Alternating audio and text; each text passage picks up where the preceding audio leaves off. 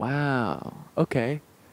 well, I Uh, know the consensus one. South Park? Yeah, I guess a lot of okay. South Park is going to be our consensus one. SP. I think for both of us, it had at a time when we were almost the age of the kids in the show, so it was like this really nice identifying thing. But it was just so important growing up uh, and shaped me into the person I am today. So South Park, I a would South say. Park shirt today. Oh, that would have been nice. I'm gonna say an unconventional one. Tom Goes to the Mayor was a huge thing for me. Me and my buds back in God was that high school or college? Whenever it was, that was the type of that that was a show that we every Sunday night gathered around and watched, and it was so fun to see something like that on TV.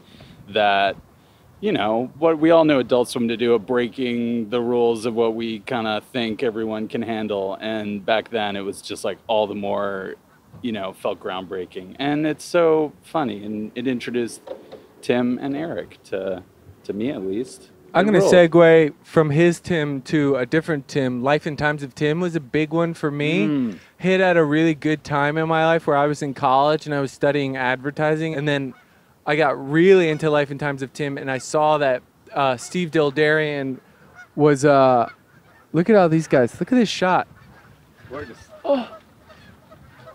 What's going on? Oh my God.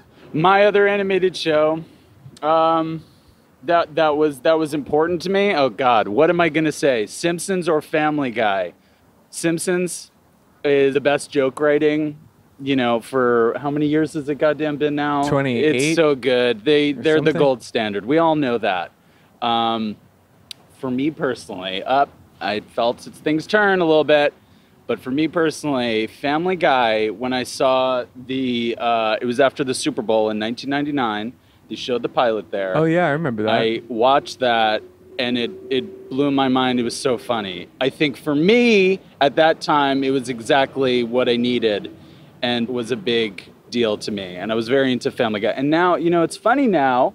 It's funny now it is funny now. because it's very funny now. I don't mean the show. I mean the concept is funny now that I'm even talking about it because um, back then it was a way. I went to a new high school at one point, and it was literally like a way I would meet people of if they'd heard of this small obscure show. Um, and so it's very nice that it's now everybody knows what Family Guy is. Everybody knows what Simpsons are, and I hope they both have healthy long runs and just keep making so much money that none of us can have. So God bless the USA. I think I have six one more. years. I'll just say um, Over the Garden Wall. Beautiful. Was it a movie? No.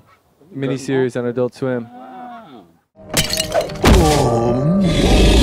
Greg, why did you do that? That was your plan, remember? Knock him out. Uh, No, the bad plan. I told you to forget that plan.